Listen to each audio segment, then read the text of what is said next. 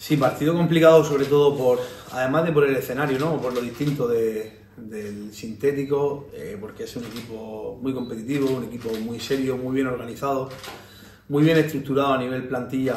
Ya lo hablé con, José Miguel cuando jugábamos en, pretemporada, creo que consiguieron confeccionar una plantilla muy concienzuda para manejar lo que hay que manejar en, en la Unión y bueno, ahí están los resultados, siempre mirando la parte alta de la clasificación, sabemos que nos va a exigir sobre todo un nivel de, pues de ganar duelo, de, interpretar segundas acciones, de quizá cuestiones que en Condominas no se dan tan repetidamente, vamos a tener que dar un pasito adelante, el equipo lo sabe, somos conscientes de ello y preparados para, para, competir de la mejor manera posible.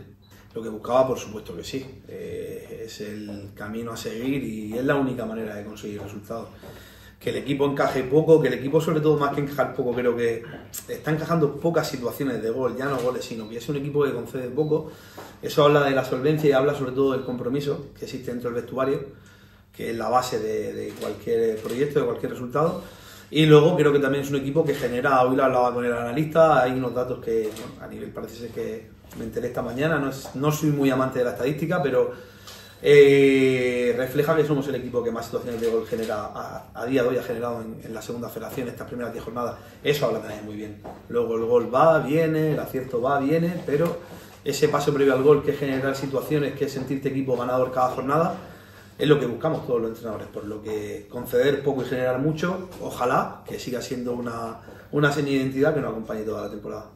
Pues veo fruto de, de un buen arranque eh, de liga, eh, jornada 10, son 34, quedan 24 jornadas. Es que hay que ser sensatos, hay que ser cuerdos, hay que saber que queda gran parte del camino todavía por recorrer. Estamos felices por estar arriba, sobre todo estamos felices por ver cómo el equipo está siendo cada domingo capaz de competir al nivel que, que lo está haciendo, de cómo está entrenando cada sesión de entrenamiento, pero eh, a nivel clasificatorio no hay más allá, pues bueno, que verte arriba te da un poquito de, de alegría, de motivación para seguir, pero conscientes de que aquí o mantiene el nivel de exigencia alto toda la temporada o esta categoría te, demole y cuando viene a darte cuenta te has metido de primero a, noveno en tres jornadas, por lo que a seguir, a ser humildes, a ser estables, a mantener el equilibrio que hasta el momento nos ha traído hasta aquí. Desde el club ya lo dije el otro día, se nos transmite mucha calma a la hora de... Es verdad que ahora mismo quizás han venido mejores que peores situaciones, pero el mensaje siempre ha sido de tranquilidad, de equilibrio y eso, esa estabilidad creo que no hace, no hace mucho bien al vestuario y, está siendo importante para que los resultados lleguen. Sí, sí, a nivel presupuestario, por supuesto que sí. Eh, creo que alternan juventud y veteranía. Creo que han firmado, como digo, un portero como Salcedo con dilatadísima experiencia en segunda B. Eh, una línea defensiva, Algisí, Diego Ruiz, con el que tuve la suerte de trabajar el año pasado, Quindy Mil, que ya ofreció un buen rendimiento. Víctor Mena, que lo tenía de aquí el año pasado. Espíndola, eh, Guille Bernabeu, Armando Ortiz, un jugador del que poco puedo, decir, eh, Pedrosa, creo que Seth Vega, tienen un equipo muy equilibrado, muy competitivo, muy agresivo y que está confeccionado, como tú dices, para estar en esos puestos de playoff y estoy seguro de que van a estar luchando por ellos toda la temporada supuesto que sí. Al final, desde el principio ha tenido claro lo que quería, lo que necesitaba de su equipo y eso se ha visto reflejado. La Unión puede ganar, puede perder, pero esa identidad lo ha acompañado toda la competición, por lo que eh, la experiencia del Mister en este caso, como suele decirse, sí que, sí que ha sido un grado. Sí, bueno, pues, pues, intentaremos, como dices, competir por esa tendencia del balón, por ser, por dominar el partido.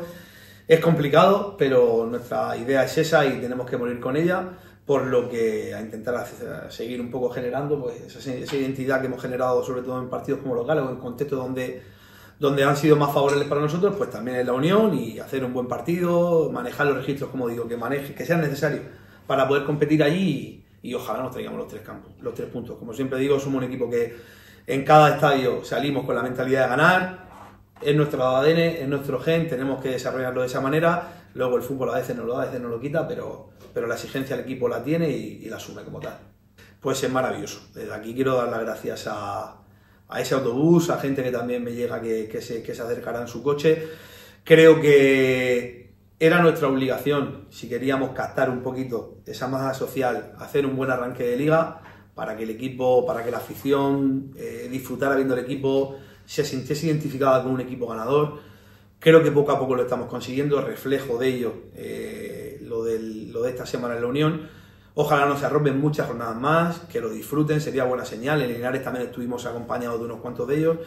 Y bueno, pues tanto ellos como en este caso patrocinadores, el Business Club, son, son eh, soportes muy importantes para nosotros, para el club.